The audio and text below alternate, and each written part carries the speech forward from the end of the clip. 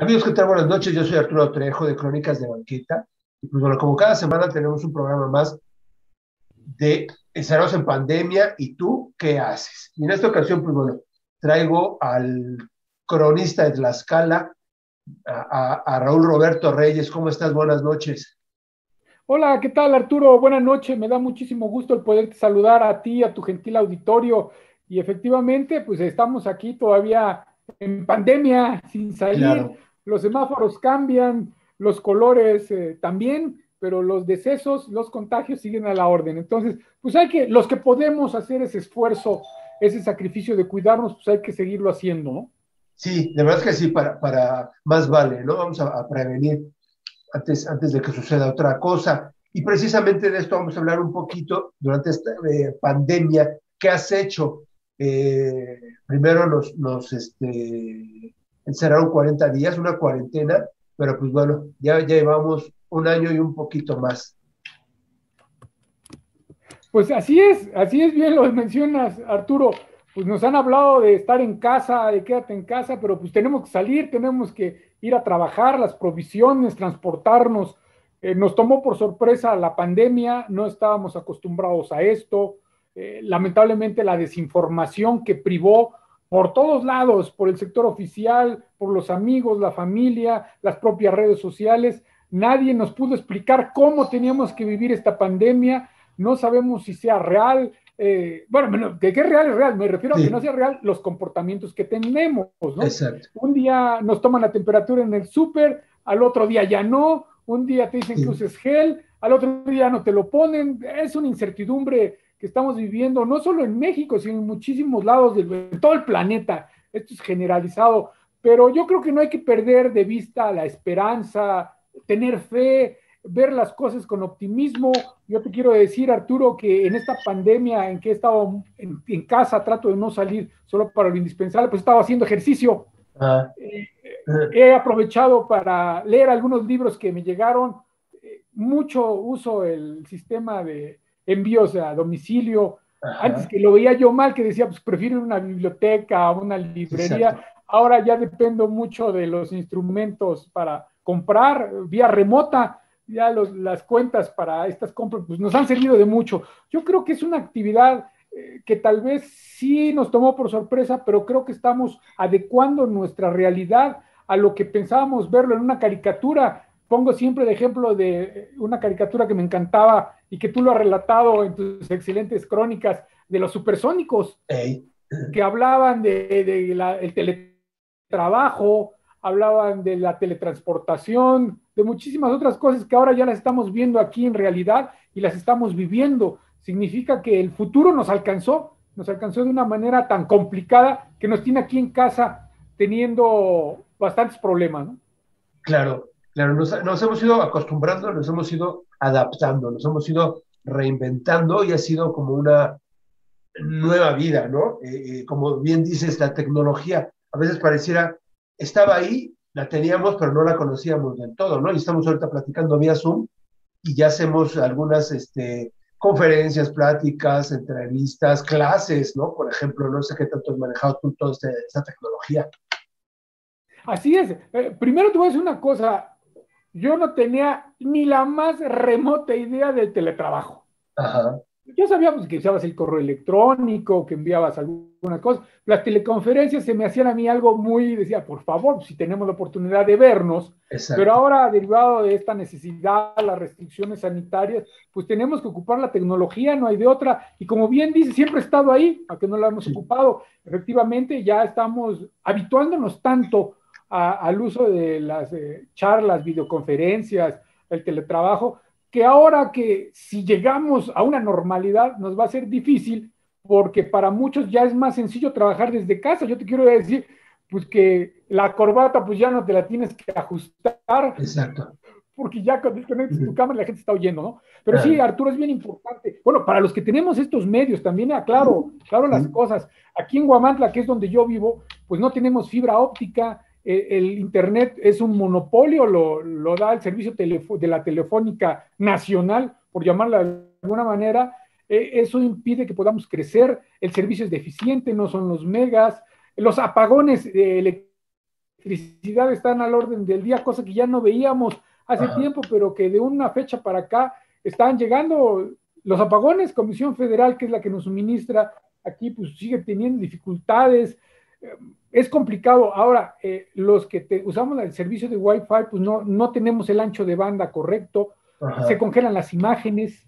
E, es muy complicado, ¿eh? Eso es. No estábamos adaptados para que pudiéramos tener este tipo de conversaciones vía remota, pero pues nos tenemos que adaptar, Arturo. Eso no hay de otra. He tenido la oportunidad de continuar con las conferencias eh, con algunos que me han hecho favor de invitar. Lo hemos estado haciendo, seguimos interactuando. Hubo momentos muy complicados, digamos que casi el año, el año pasado, cuando estaba muy fresco esto de que si era pandemia, no era pandemia, en que no salgas de tu casa, en que todos se encerraron.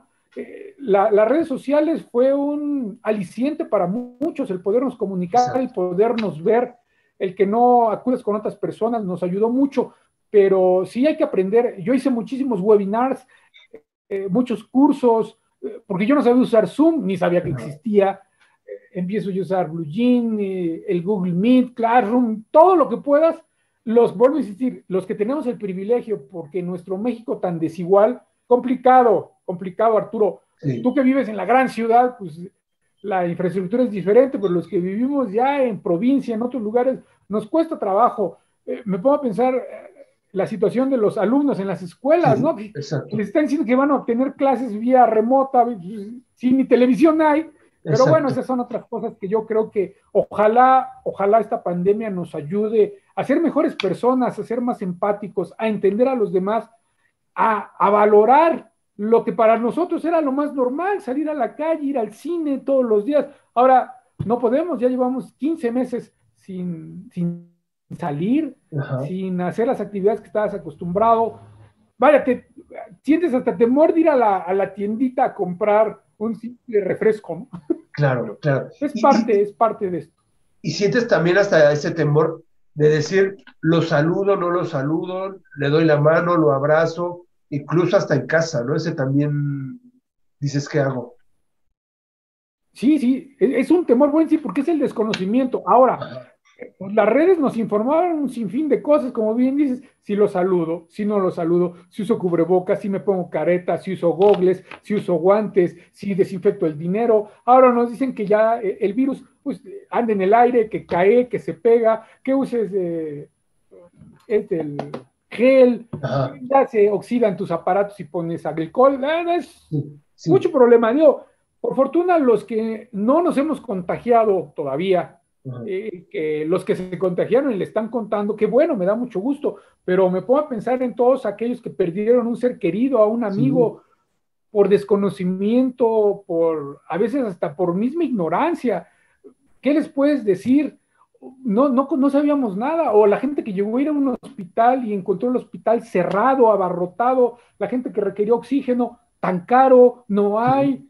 De veras, esto fue yo jamás, jamás en mis peores pesadillas creí vivir un asunto así. Y créeme que la influenza hace de dos, tres años, no recuerdo, no, ya tiene más tiempo. La influenza eh, pues no, no fue tan grave, sí nos vacunaron, nos dijeron no salgas, pero pasó. Pero eh, este problema, esta pandemia que realmente, bueno, si nos toma por sorpresa, sí no, nos impidió el que pudiéramos acceder al conocimiento real, a la ciencia. La ciencia tardó mucho en explicar las cosas.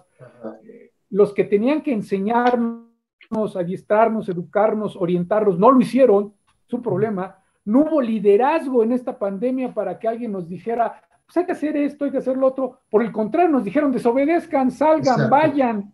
Y, eso generó una, un problema en, de percepción, ¿no? Que eso es lo, lo, que vino a paliar esto. Ahora, seguimos leyendo y, escuchamos que países que ya habían sorteado las pandemias, los europeos, con otro sistema de salud, vuelven a caer en lo mismo, vuelven a abrir, abren la, vida común, recaen.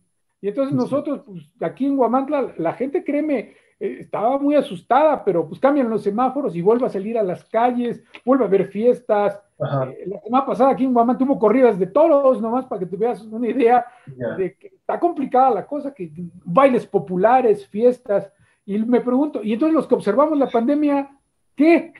ya no vamos a vivir y los que están afuera son inmunes, complicado, muy difícil. Exacto, exacto. Y, y, al respecto de esto, porque también las, las celebraciones en, en, Tlaxcala dicen son muchas, son casi como una diaria. Entonces, este, ¿qué, qué han hecho, Raúl? Y aparte tú que, que, que, eres cronista y estás de un lado al otro, ya me decías, hay corrida de toros, pero por ejemplo, en la Guamantlada, el, este, el día que Tlaxcala no duerme, todo esto, este, los tapetes de, de, de, de flores, ¿qué han hecho? ¿Han continuado? ¿Han, han, ¿Ha sido con poca gente? ¿Cómo ha sido?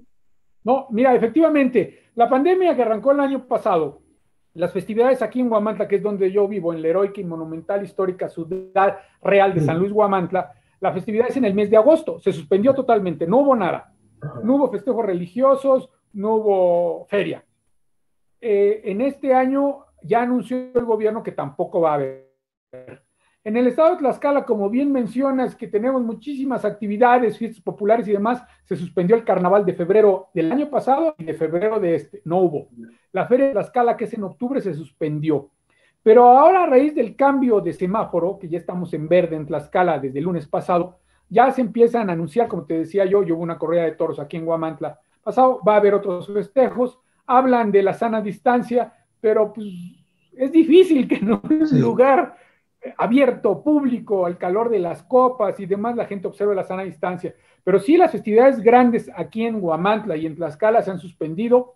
La diócesis de Tlaxcala, porque hay que decirte que Tlaxcala, eh, común en todas las fiestas, son patronales asociadas al culto cristiano católico, ha sido muy responsable. El obispo eh, ha, ha, tomado muy en serio esto. Por cierto, han fallecido muchos sacerdotes aquí en Tlaxcala, muchísimos. Eh, ha tomado muy en serio esto y ha emitido una serie de, de, reglamentos para que se suspendan los actos masivos en las fiestas populares. No ha habido incluso, pero ya con esta relajación de semáforo, pues sí, ya se empieza a ver, ya los templos ya volvieron a abrir sus puertas, ya la gente puede ir a los templos con restricciones, pero ya la semana pasada ya hubo también bautizos, confirmaciones, bodas y demás.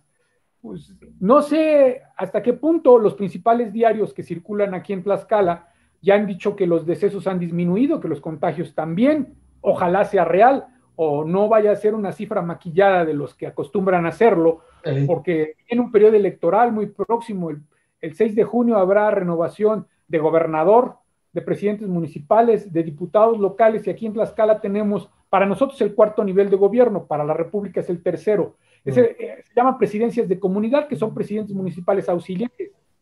Hay yeah. más de 540 presidentes de comunidad aquí en Tlaxcala. O sea que ya te imaginarás, se va a elegir un gobernador, se van a elegir un congreso y se van a elegir a los 60 ayuntamientos con sus respectivos integrantes y más los presidentes de comunidad. Te quiero decir que aquí en Guamantla el ayuntamiento está compuesto por 48 integrantes. Nada más para yeah. que te des una idea, es, es, una mini, un mini congreso que tenemos aquí en Guamantla. Los regidores de pueblo eh, son siete, las 39 presidencias de comunidad, el presidente y un síndico, son 48 personas. Yeah. Entonces, pues, así es la realidad, que no se pudo modificar con la pandemia.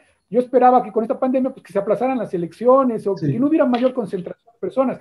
La gente dice, ¿cómo es posible que si va a haber elecciones, concentración de gente, campañas políticas, pero no hay feria? Exacto. ¿O cómo es posible que haya concentraciones de mítines, pero que no habrán una un gimnasio. Ajá. Es difícil. Sí, sí exacto. Sí, no, aparte, pero ya nos habían, nos han estado informando, este, salgan con cubrebocas, pero este, no vayan acompañados, pero va, vayan a votar. Sí, sí, sí re, realmente. Yo apelo mucho a tus seguidores, ojalá aprovecho tu espacio, que es eh, muy bien aceptado y que sabemos que no debemos de hablar de política, esto no es hablar de política, es hablar eh, de la vida real. Claro. no estoy hablando de colores. Que, que sí, ojalá la gente tome conciencia, los que vayan o a, vayamos a acudir a las urnas, a emitir un sufragio, porque es nuestro derecho y nuestra obligación, lo hagamos con las medidas sanitarias propias, pero que los políticos que están buscando el voto busquen mejor la salud de, de sus votantes, la salud de los ciudadanos. Me alarma mucho que aquí en Tlaxcala, en Guamantla, pues haya desfiles, concentraciones, mítines, reuniones y la gente acuda. Yo creo que ahora que tenemos las redes sociales, pues que ocupen más las redes sociales para evitar concentraciones. Pero vuelvo a decir, como esta pandemia nos tomó por sorpresa, no podemos modificar. Andan buscando el voto, pues piensen en sus electores, porque la tercera ola no ha llegado, ¿eh? La tercera ola que nos decían que iba a llegar por la Semana Santa, aquí en Tlaxcala no, no llegó, no pegó o no la han hecho pública. Pero yo creo que la tercera ola va a llegar cuando ya vengamos de la consecuencia de una campaña política que venga a reflejarse en algo. Ojalá no, yo no lo deseo, claro, no es mi deseo que amigos, familiares, conocidos, gente pues se contagie, porque pues no es, no deseo que los hospitales estén llenos, que los médicos no puedan ir a su casa por culpa de los que no están observando las normatividades. Eso también es bien importante, hablar de este sector, del sector salud, de los médicos, enfermeras, camilleros, custodios, cajeros, eh, todo lo que incluye el sector eh, médico, tanto público como privado. Yo me pongo a referir, pero es así, siempre ha sido, los que están en fiesta y los otros están trabajando, pero ojalá generemos una sociedad más empática, más solidaria y con mayor nivel de convencimiento de cuidar al semejante, que creo que es lo más importante. Porque de nada sirve que yo me cuide, aparentemente, pero que salga, esté yo en las calles, no observe las medidas, los que ya fuimos inoculados, pues sigamos sin usar cubrebocas, no, no, no, por el contrario, hay que ser más responsable, hay que ayudar, hay que contribuir a que la gente se eh, instruya más, tengamos mayor conocimiento, consultemos páginas serias, eh, páginas certificadas, porque hay que recordar que durante pandemia no dicen que tenías que tomar tal remedio, que si hacías esto, que si inhalabas lo otro y con eso no te daba, y que muchísimos rumores. Pero estamos en siglo XXI, donde la ciencia tiene que prevalecer. Sin embargo, la ciencia tardó para dar sus respuestas. Tenemos ya vacunas a cuentagotas en México, pero pues ya hay otros estados, los vecinos de Estados Unidos, pues ya está regalando las vacunas a, los turistas, como lo hemos oído, leído en las, en las noticias. Pero yo creo que lo más importante es que vuelvo a insistir, Arturo, en espacios como el tuyo, aprovechar para ser eh, más empáticos, para no distribuir noticias falsas, que eso es bien importante. Pasa como cuando anuncian las vacunas de un día para otro. Yo me puedo pensar, los que no usan Facebook, los que no entran a las redes sociales, ¿cómo se van a enterar que, la vacuna llegó a su comunidad? Exacto. Eh, tenemos que dar un vuelco, tenemos que, esta pandemia nos tiene que obligar a ser mejores. Y parece ser que por el contrario está sacando nuestros peores, a nuestros malos comportamientos, ¿no? Claro, claro, que nos ayude, que, es como lo he dicho también casi siempre, ¿no? Que, que, hayamos sacado algo bueno de esta pandemia, porque si no, no tuvo caso haberlo vivido. Sí, es real, es real, porque, por ejemplo, ya supimos aquí en Guamantla, desde que yo tengo uso rato, bueno, tengo 46 años, Nunca se había suspendido una feria aquí en Guamantla. Digo, la feria es, es un detonante económico, político, social, buscado aquí en Guamantla, ¿no? Aquí en Guamantla no tenemos como en la gran capital sus auditorios nacionales, bosques, museos. Tenemos pocos museos, pero pues no vamos a ir todos los días a un museo, ¿no? La oferta cultural de divertimento en Ciudad de México es basta, pues es la capital de América Latina, pero en los lugares pequeños, las fiestas populares, forman esa, ese asunto que nos permite conocer más, ¿no? Y que lo, deseamos y lo buscamos. No lo tuvimos este año, creo que tampoco. Eso nos va a permitir que, que podamos valorar más nuestra identidad, de ver en qué fallamos y en qué podemos mejorar. Creo que es una oportunidad, como bien dice Arturo, de poder mejorar, de buscar los acercamientos, eh, el que hagamos las cosas más sociales, con más cariño, cómo lo que antes veíamos lo más normal ahora lo dejamos de hacer y lo vamos a extrañar y no sabemos si ahora que regresemos sea lo mismo. Eh, vuelvo a insistir, una ida, simplemente una ida al parque. Vaya, no me voy lejos. aquí ir a la tienda de la esquina ya te genera un problema, ya no sabes si hacerlo. Ir a un cajero automático que para antes era lo más común. Ahora tienes que usar las aplicaciones con cierto temor porque está inundada las redes de que no las uses porque te clonan, te plagian, te roban. Eh, por fortuna nunca me ha pasado, espero que no me pase, pero eh, te digo, vivimos en una desinformación total, total. Y que gente como tú que tienes la oportunidad de tener un auditorio tan grande y un auditorio bueno, porque también hay auditorios complicado. Si el tuyo es bueno, tus seguidores, que, hagamos esa comunidad, que hagamos esa red de podernos seguir ayudando, de compartir buenas noticias, de ser esperanzador, de buscar eh, en estos malos momentos, pues algo bueno tuvo que Vuelvo a decir mi solidaridad con todas las personas que, que tuvieron una, una, pérdida humana, que perdieron el trabajo, que les quitaron el salario, no, no tantas cosas que, que les cerraron el comercio y, y que los que tenemos la fortuna de estar pues, sanos y con trabajo y llevando las cosas, nuestra obligación es ser más solidarios con los que menos tienen.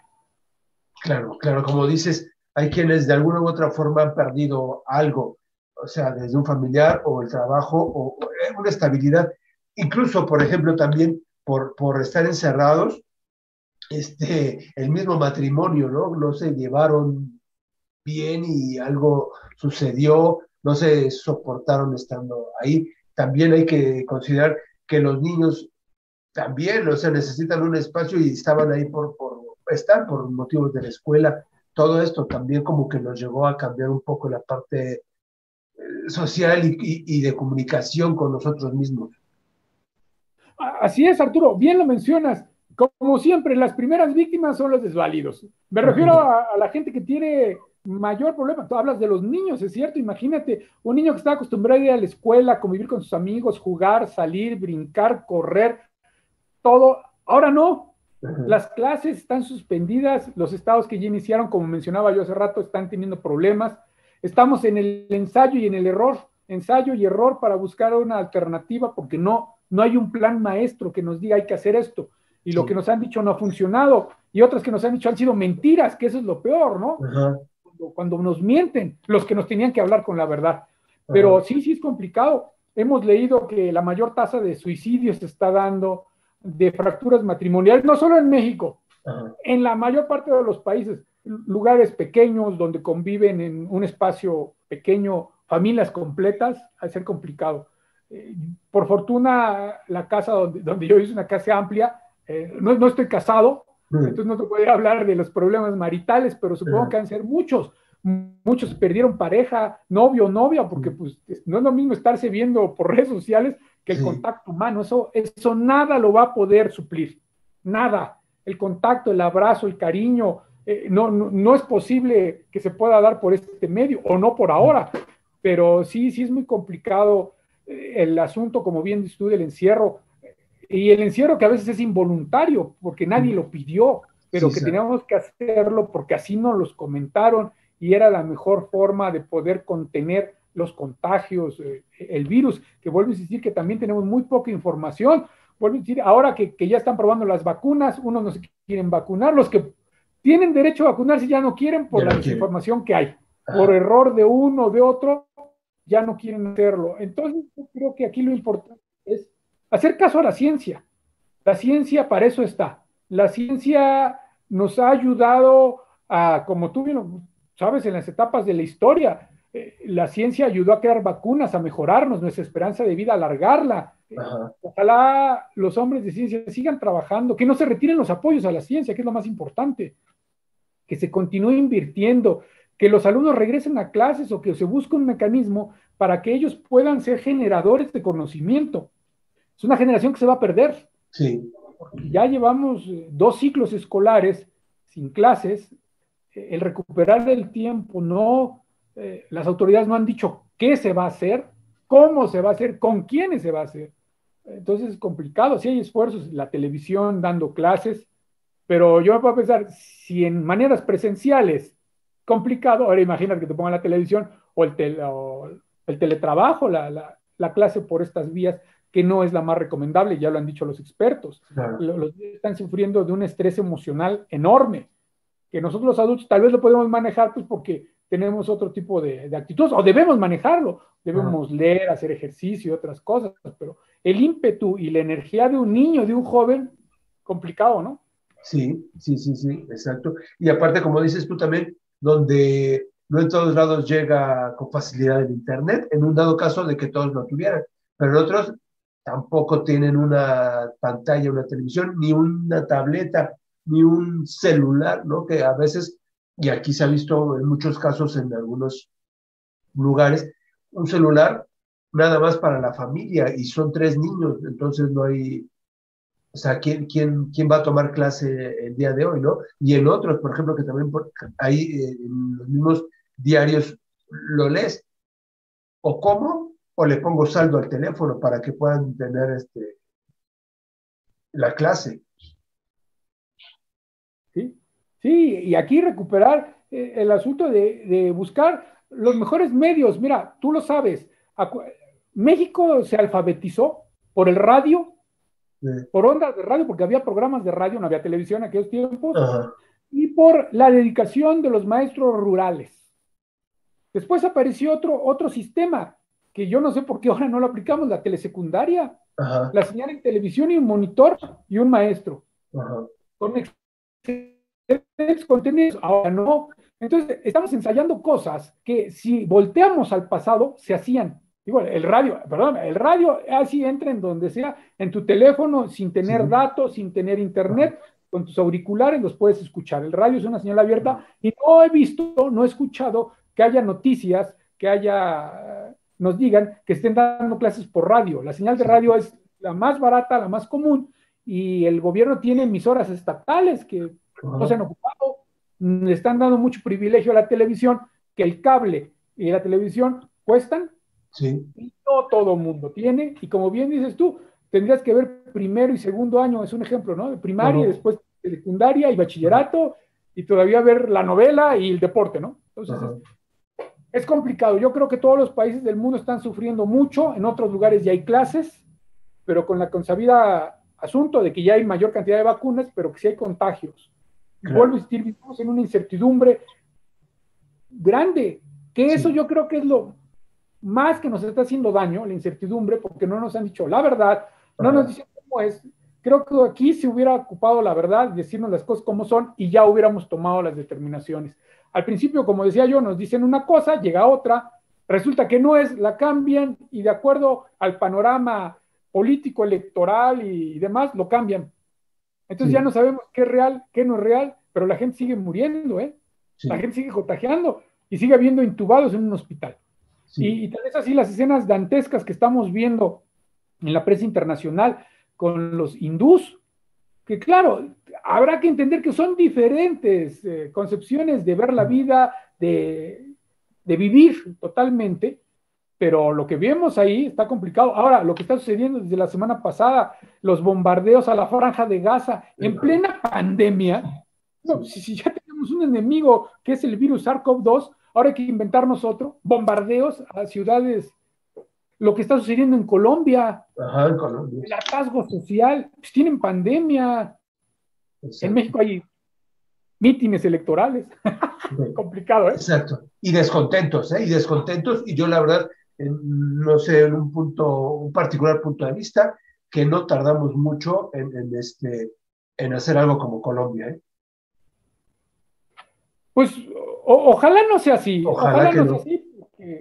Claro, yo no deseo un estallido social, pero como lo que nos están haciendo y nos están orillando, creo que es la única manera en que podamos escucharnos. Desde el poder están entorpeciendo lo que se construyó con muchísimo, con sangres más, con muchísimo, las instituciones que nos costaron mucho construir a los mexicanos, no se me incluyo porque yo participé eh, esos organismos eh, electorales autónomos, esa comisión de derechos humanos que era aparentemente autónoma, eh, todos aquellos consejos reguladores que ahora los están queriendo desmantelar, pues estamos teniendo un retroceso. yo pongo el ejemplo, es como si antes nos transportábamos como tamemes cargando y ahora tenemos ya lo que nos facilite. Es como si de la noche a mañana dijeron, no, ya no vamos a usar la rueda, otra vez la fuerza de tracción animal y tú vas a cargar. Creo que lo más importante aquí es que la gente se siga documentando, siga leyendo, siga viendo qué es lo que realmente nos hace falta.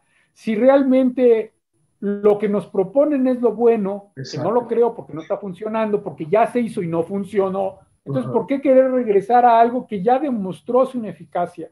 Creo que lo más importante aquí, como lo hemos dicho siempre, Arturo, es la educación, la información y que veamos las cosas con optimismo, que alcemos nuestra voz, que es lo más importante, y como bien decías, ¿puede sucedernos de Colombia? Puede ser. Creo que estamos al borde de algo así, porque lo que se vio en Colombia fueron las malas decisiones gubernamentales y el hartazgo social.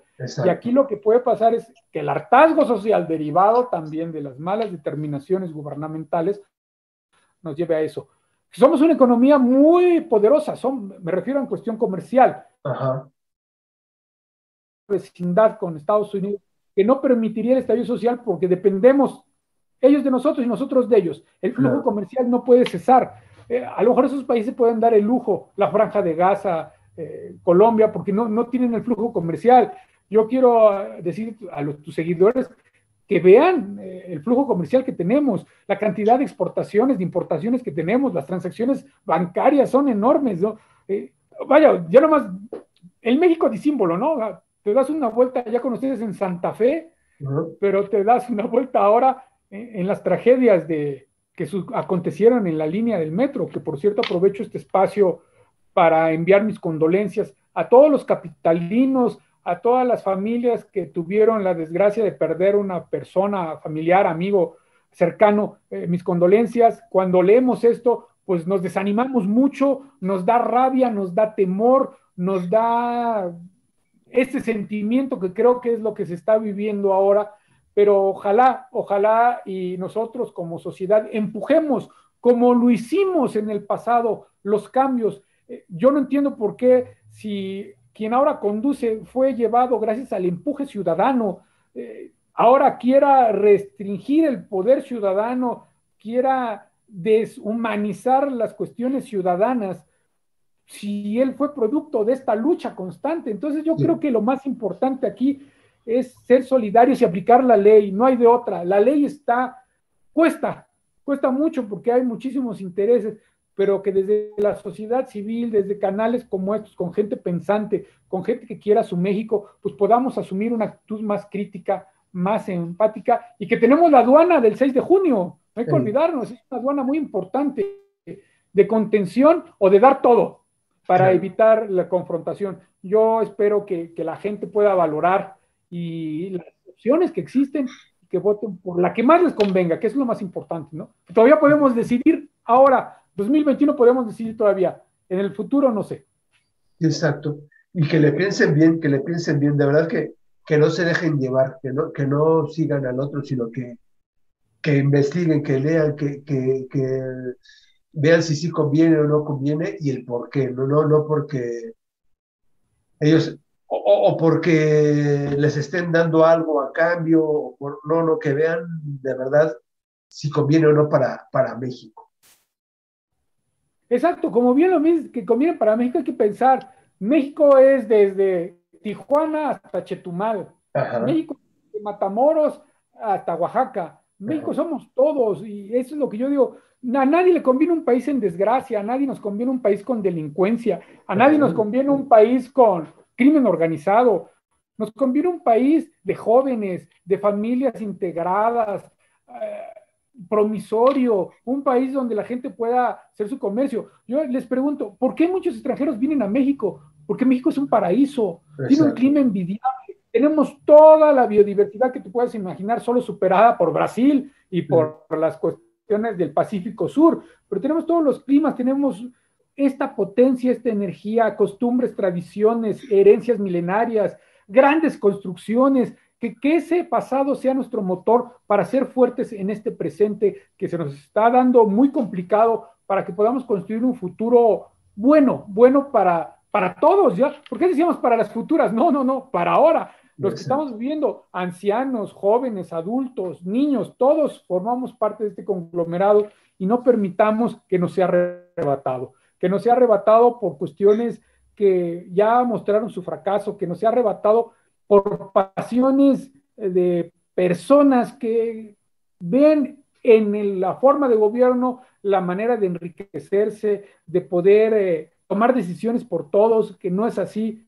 Son elegidos por el voto popular y eso es lo que no queremos todos nosotros. hay que buscar una manera de hacernos oír y creo que este tipo de, de pláticas no, no somos políticos, mi Arturo. Eh, yo te conozco como una persona divulgador cultural, eh, una persona tesonera que siempre ha buscado el difundir lo bonito, lo bueno, lo de México. Y creo que por eso coincidimos, por eso desde nuestros espacios, nuestras redes sociales, hay que seguirlo haciendo porque es muy importante. Decirle al niño, sí, estás en pandemia, estás encerrado, pero por lo pronto no estás arriesgando tu vida como lo hicieron los hombres que defendieron la República allá en las intervenciones francesas, norteamericanas, eh, o si nos vamos más para atrás en Mesoamérica, de la irrupción hispano que vino a, modificar la rebelión de todos los mesoamericanos, ¿no? Los tlaxcaltecas contra los cholultecas, contra los huejotzinos, contra los mexicas, todo. Ahora no, ahora tenemos un, un, lugar donde se deben de debatir las ideas que son los congresos locales, el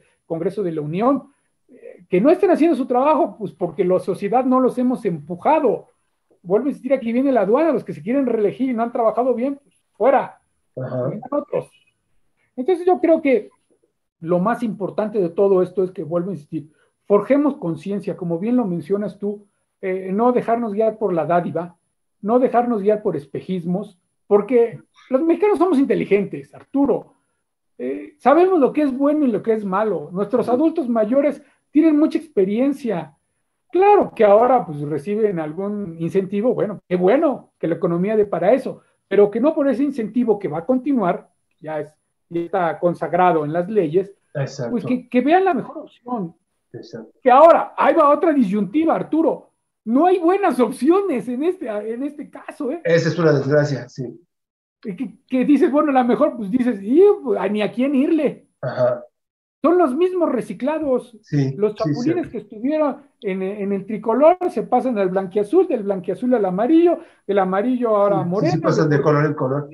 Sí, sí, es todo un, sinfín de, componentes, ¿no? Las familias que quieren seguir en el poder, pues ya no. Entonces yo creo que ahí está el papel de los nuevos ciudadanos, que existe la figura de ciudadanía, existen otras figuras que los jóvenes pues incursionen, ¿no? Mucha gente dice, no, no me gusta eso pues yo creo que es el momento de, buscar la representación. Te pongo un ejemplo. Antes aquí en Tlaxcala, el cuarto nivel de gobierno, aquí en Tlaxcala, el tercero a nivel nacional, que son las presidencias de comunidad que se llaman presidentes municipales auxiliares, que no, no cobraban, no tenían salario, se escogía a la persona y se le llamaba el agente municipal. Y era comúnmente la persona de mayor edad, la de mayor relaciones, la que conocía, la que tenía mayor, y no cobraba. Y era el que resolvía las cosas del pueblo, representaba a su población en las decisiones de cabildo. Lamentablemente, pues alguien pensó por ahí, hay que darles un salario, hay que que, que cobren, y se volvió ya una agencia de colocación de empleo. Quiero decir, es decir, Huamante tiene 48 integrantes, y creo que ni la ni el Congreso de la Ciudad de México tiene 48, ¿ah? Imagínate, y todos, ahora ya les quitaron el voto, ya no más tienen voz, pero todos cobran. Entonces yo creo que estamos en el momento de volver a, esgrimir, a dibujar un nuevo esquema que nos permite estar representados todos. Que yo creo que por ahí va la ciudadanía. Porque en una república parlamentaria tenemos una república presidencialista. El, poder lo concentra una sola persona. En otros países tienen vicepresidente, ya lo comparte, ¿no? Estados Unidos tiene su vicepresidente, tiene su Congreso. Pero yo creo caminar a un entorno Bien, Raúl, ya ves, estamos este, grabando y, el Internet a veces no funciona del todo como decías, pero aquí estamos de nueva cuenta. Así es, Arturo, como te mencionaba yo, pues la infraestructura que tenemos en telecomunicaciones, pues también no nos ayuda, es lo que, lo que comentábamos hace rato, pero yo creo que hay que aprovechar lo que tenemos y, como te decía yo, seguir siendo facilitadores del conocimiento hay que seguir eh, pregonando las cosas buenas que tiene nuestro México, que son muchísimas.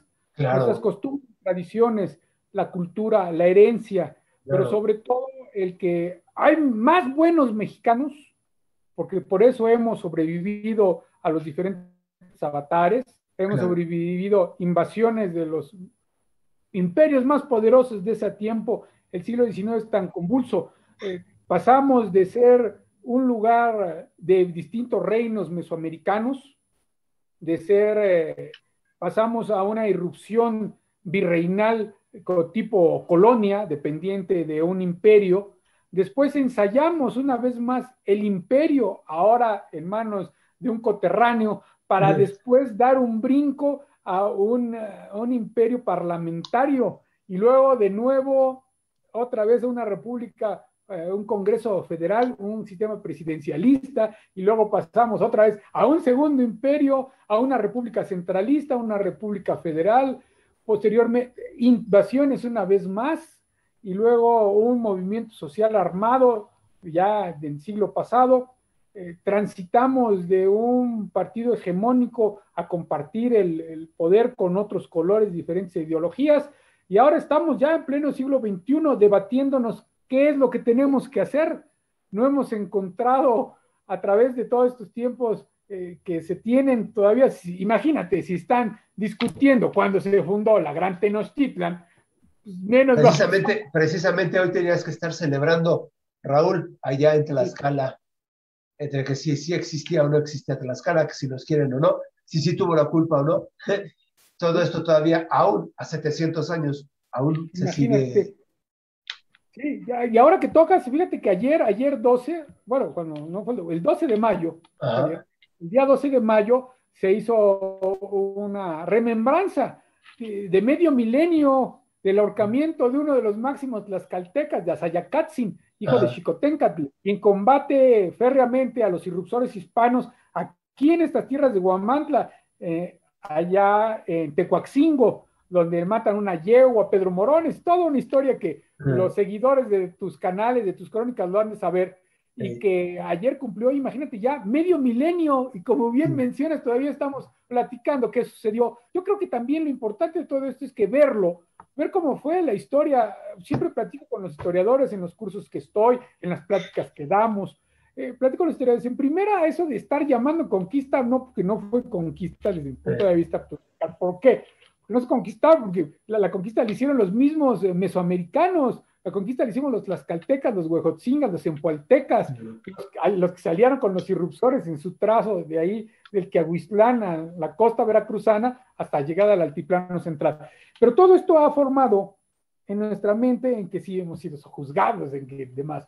Bueno, tal vez eh, esto amerita una charla más a fondo. Sí, yo creo que sí. Pero, lo más importante de esto que menciono es que del 12 de mayo en Tlaxcala conmemoramos 500 años eh, del ahorcamiento de una persona. Bueno, y pues ya, ya pasó, ¿no? Yo creo que mejor tomar los valores que tuvo Xicotenca defendiendo a Sayacatzin, defendiendo en aquel tiempo, hace 500 años, que todavía son válidos, a ponernos a pensar si fue bueno o malo, si no hubiera pasado, pues ya pasó. Ahora, ya, somos México, somos los 120 millones de habitantes, somos, tenemos nuestras 32 entidades, lo que tenemos que preocuparnos es pues, por hacerlo bien, ¿no? Por trabajar bien. Y que, bueno, decir, que la historia sea nuestro motor, pero que no sea nuestra ancla. Porque todavía nos vamos a pelear de que pues, los tlaxcaltecas fuimos a hacer la matanza a Cholula. Yo creo que ni eh. por aquí nos pasa ya esas generaciones ya creo que se han de ver hasta desintegrado, ¿no? Exacto. Nuestro ADN, pues entonces también hay que recordar que como dicen los, los que saben que el hombre vino de África, pues entonces nuestra sangre es de la tercera raíz que han llamado, ¿no? Sí, son cosas que bien interesantes, pero que con buenas lecturas, eh, con buenos ánimos de poder conseguir siempre un buen comentario, pues siempre lo podemos seguir haciendo, ¿no? Claro, claro, y como dices, yo creo que también esto ya es tema de otra, otra eh, plática, otra charla, porque la verdad de estar este, platicando contigo siempre es muy, muy ameno, muy sustancial, pero pues por hoy, por hoy hemos terminado, Raúl, y, yo te doy las gracias, gracias por, tu tiempo. Eh, y también otra de las ventajas del Zoom es que yo pueda estar eh, aquí, en la Ciudad de México, tú en Tlaxcala, y, y ya no nos transportamos, no hubo problema y aquí estamos, ¿no? Acortamos esas, esa distancia. Así es, Arturo. Yo te agradezco infinitamente tu gentileza, que me permitas compartir en tu espacio, que me encanta. Eh, Crónicas es magnífico, tú lo sabes, Arturo. He tenido la oportunidad de estar contigo en la ciudad, hace ya dos años por allá, y me encantó. Y ojalá cuando todo se pueda, puedas tú venir a Huamantla y yo pueda a la ciudad, que para mí esa ciudad es magnífica, es enigmática, es, es parte de lo que hemos construido todos los mexicanos, porque los, me, hablar de Ciudad de México es hablar de, historia, de milenios, eh, de, toda una mezcla. Y hablar de Guamante indiscutiblemente, pues también forma parte. Te agradezco mucho, Arturo, a tus seguidores. Espero que con esta charla eh, hayamos, pues, eh, alegrado por lo menos los corazones de algunos y que vean que varios estamos todavía encerrados, estamos con este miedo de la pandemia, pero que este medio se traduzca en ser mejores ciudadanos, en buscar mejores espacios para consolidar una sana convivencia, que es lo mejor, y hacer de México un lugar que nos permita ser mejores, pero sobre todo siempre contribuyendo a la mejora de nuestra querida patria. Gracias, Arturo. Claro que sí. Gracias a ti y gracias a, los seguidores por, por, escucharnos, por vernos, porque aquí pues podemos hacerlo por Crónicas de Banqueta TV. Y yo pues los espero el próximo miércoles, como siempre, en un programa más. Gracias. Buenas noches. Adiós.